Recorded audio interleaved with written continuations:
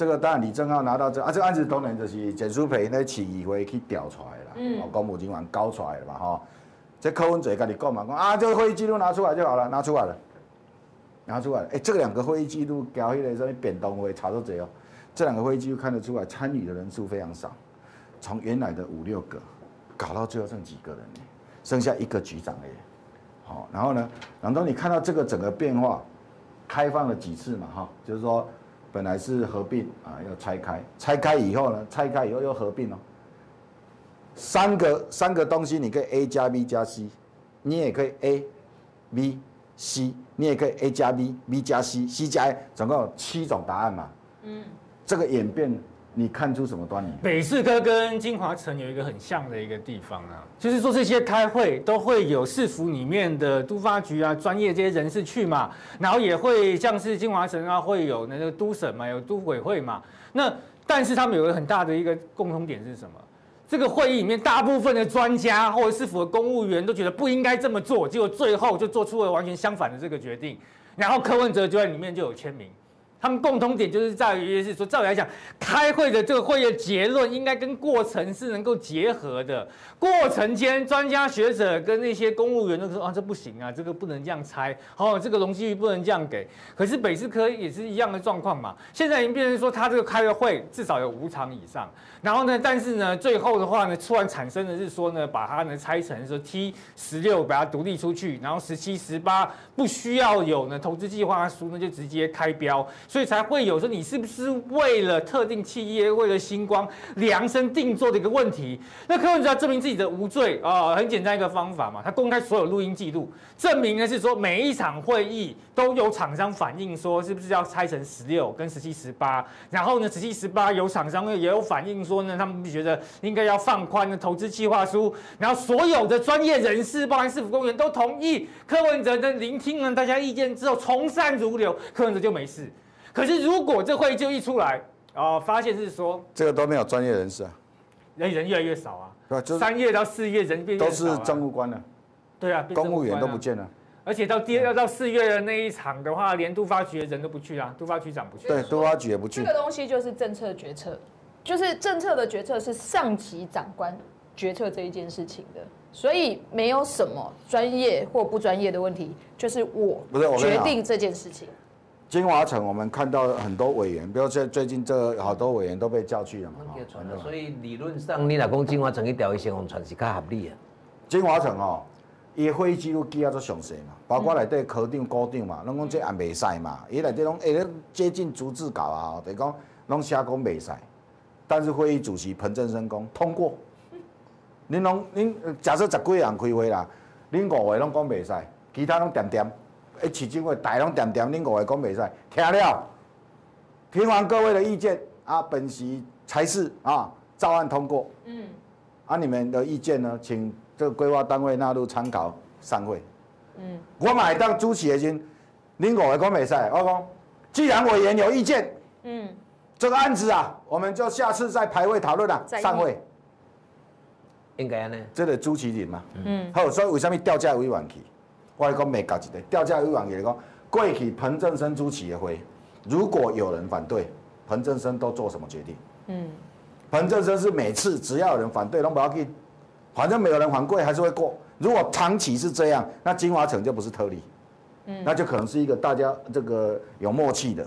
那如果说以前彭正生只要听到有人反对，他心里怕怕，他就说这个不能过，就下次再议。所以叫遮委员去，要叫因讲因较早参加的时阵，迄个氛围是啥啦？嗯，啊不，你叫遮委员，委员的发言都在里面呢。嗯，而且有些委员没有去也被叫去嘛。嗯那委员没去也被叫去，什么意思？你问讲你刚哪无去？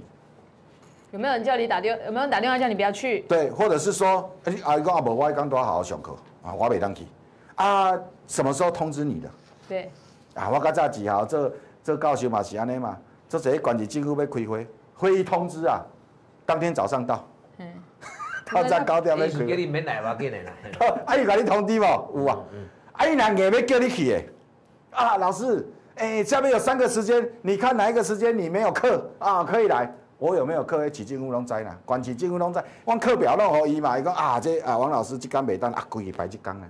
啊，这帮袂使，因为迄刚才叫王老师来，所以要排这工哦，王老师教我倒来。啊，该问王老师，迄刚是毋其他的会，拢会安尼嘛。所以，所以我来讲，这一个备忘录，你正好看出来这个备忘，当这是起进户的备忘，查这个议会查出来，这个备忘录里头没有逐字稿，没有，关键是谁？关键是这一个会议记录人。我跟你讲，这个会议记录人，难道这会议记录人的关键是什么？因为会议记录的人就全程都在那边嘛，他一定有录音的、啊，剪掉到时候就问他说你那个录音录影存在哪里，叫他拿出来。他如果如果说他删掉了，哇，直接被收押，然后他的电脑直接会被查扣。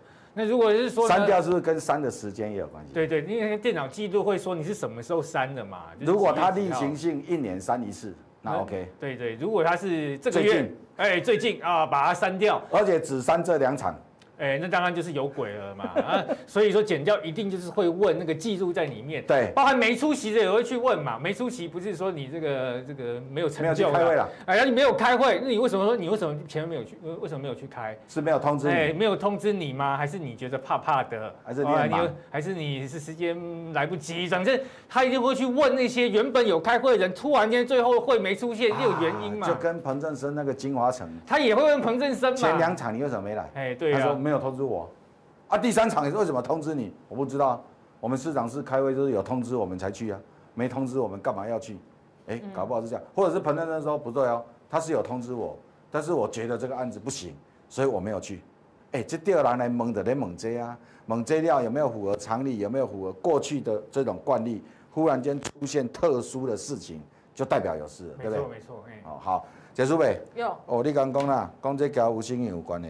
当然啦，这关系这个来这个。框框是市政府的程序啦，对好，黑色的是台北市政府招标北市科的程序，的程序，啊，下卡这嘞，下面的是柯文哲跟吴家的关系，然后上面是红色的是吴欣盈在星光人寿任职的状况。啊，吴欣盈跟星光的关系是红的，对，然后柯文哲跟跟吴欣颖的关系是蓝的，对。然后市政府的是黑的，对，所以大家可以看到哦，吴欣盈担任星光人寿的副总，大约是从二零 N 年开始已好经不可查了。但是可以知道的是，二零一九年的时候，他就是星光人寿的副总。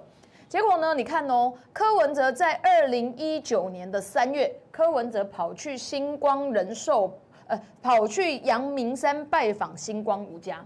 这件事情大家都还记得吧？那时候柯文哲要去找吴欣盈老爸，然后去阳明山的豪宅遐，佮惊人翕到，佮伫咧阳这个养德大道上面偷偷换车，哎才敢进去阳明山，才进去他家。为什么要换车啊，？此地无银三百两啊，还被记者拍到啊养德。大道碎掉，没有换车，那是啊啊，所以他还把他的大车换小车，换成私家车才进去。进去之后，大家可以看哦，二零一九年十月三十一号，我们第一次招标，第一次招标那时候就是三块基地合并招标，然后要投资计划书，然后权利金是比较高的，结果就流标。安尼我讲啦吼，这讲啊安尼伤过复杂，简单讲，咱先看红色跟黑色的关系。好，红色就是吴欣颖在星光开始嗯，到星光结束，对。红色嘛哈。嘿，这个红色里头就是这整个案子，对。就是这整个案子都在吴欣颖任内，对，没错吧？没错，这些程序，市政府这些程序，通通在吴欣颖的任内嘛。好，这第一个。那第二个呢？这些程序里头穿插的这些是什么？就是不分区的事情，对。就是为了柯文哲去拜访吴欣颖他爸爸，然后柯文哲任吴欣颖当不分区对，被位立委，对然后后来递补的立委，但是这个都已经完成了。对，可是我要讲的哦，他吴新盈列不分区立委的时间点是在二零一九年的十一月，刚好就在这个所谓的呃北市科招标的整个程序，所以任命吴新盈担任不分区立委，也就是 A K A 备位立委的时候，北市北科就是在招租的过程当中嘛。不是啊，我们整个市北科我我一个我一个问题，这个问题一直没有问。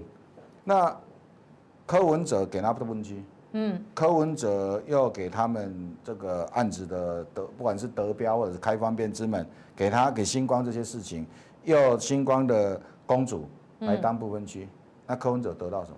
得到什么？这是重点。好问题，我们也认为，而且你知道吗？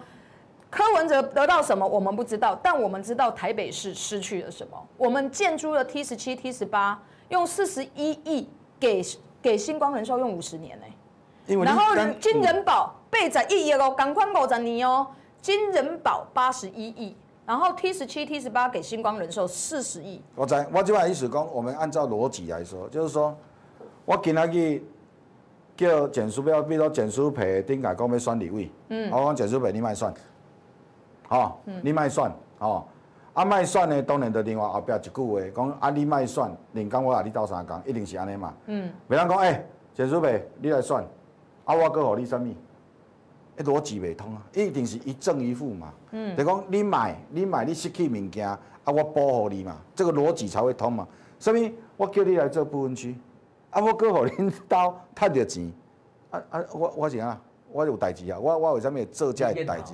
我见头，哎呀所以得爱讲，我互你星光吼，你讲北市客家对，我互你地，这表案互你刻着了后，我搁互你恁兜的查某囝做部分区，我阁兼互恁总统做副手，但是，诶、啊，我毋是看啊呢，对，你要互我想对吧你重点是但是嘛。啊，，但即个你的但是，你即摆都找无你，啊对啦，虽然我讲的这逻辑较对啦，哦，就是讲，就是讲奇怪，那柯文哲到底交星光遮尔好？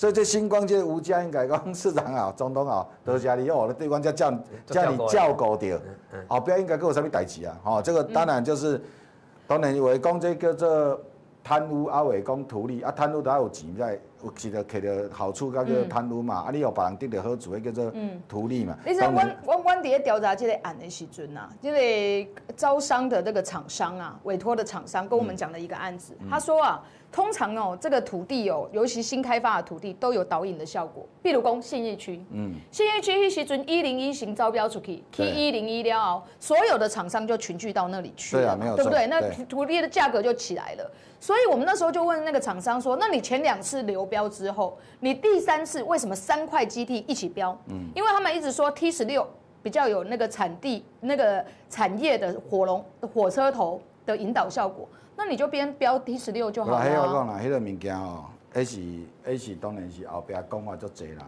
你当然就找指标企业进来，起一个地标，其他的对起来啊嘛，对，而且你知道厂商说什么？他们原本建议的就是分开招标，不对。但是是市长的政策决策让它厂商哦合并招标没。有没有没有，这这这这我有另外的想法。嗯，厂商会希望大地，会希望分开，嗯，有希望我要两个，会希望我要一个，每一个讲法拢无共，因为每一个在伊的规划拢拢无共啦吼。至于讲为什么有厂商现在跑出来说，哎、毋是哦，咱当时座谈会结论是啥哦？嗯，咱座谈会结论是啥？为什么你甲市场资料甲我改？啊，你接阮开会是咧讲安怎？你问阮讲，阮要大地也要，还是要拆做细地？但全部人拢讲，阮哪有一间公司我都食啊大，所以你甲切做细地，啊，阮哪有法度投标？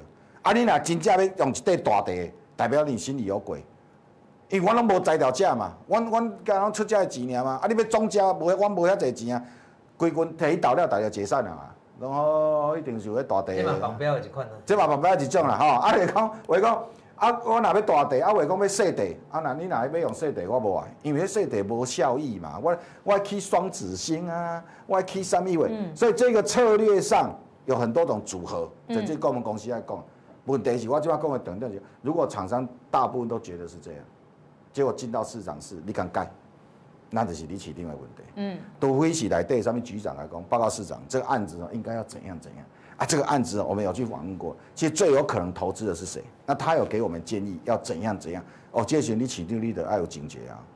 我是为了把它标出去，有潜在厂商，我会把它标出去，所以便宜的啊。但是我标出去的同时，另外一归金啊，另外一间讲，哎呦，哦，安尼我看有啊啦，啊，下七种那安尼，我无爱参加，因为这若参加落去哦，标点嘛是灾难的开始，因为你都无要还阮票啊，哦，大概是会有这样的一个一个限制在。